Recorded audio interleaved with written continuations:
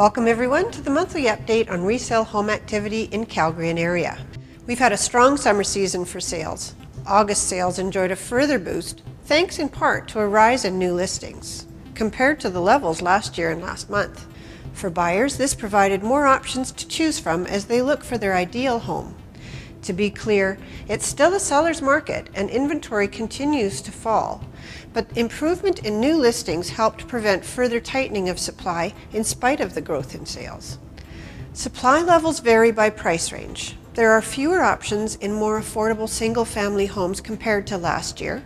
In the higher end of the market, there are more new listings providing opportunity for homeowners looking to upgrade.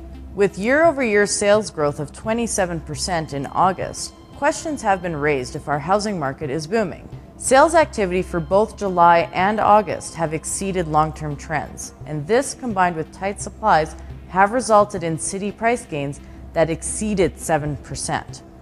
The recent rise in demand has been a result of a combination of factors. The first is our economy. In addition to the employment and wage growth, levels of net migration into the city were higher than original estimates.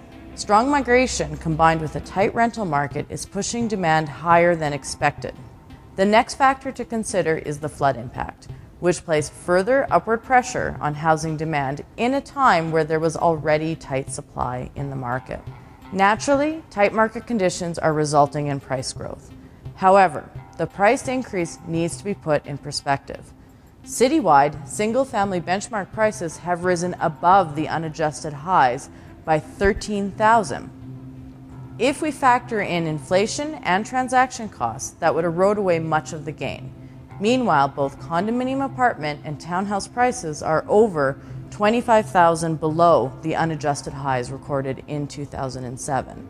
While economic fundamentals are pointing to improving demand, it is difficult to say how much of that recent surge is temporary due to the flood impact. However, as the prices are improving, so are the level of new listings. If this continues, this could help ease some of the supply and price pressures in the market. As always, a realtor can help you interpret current trends in today's market. CREB reports on sales statistics monthly. Make sure to check back next month for latest news on activity in Calgary and area.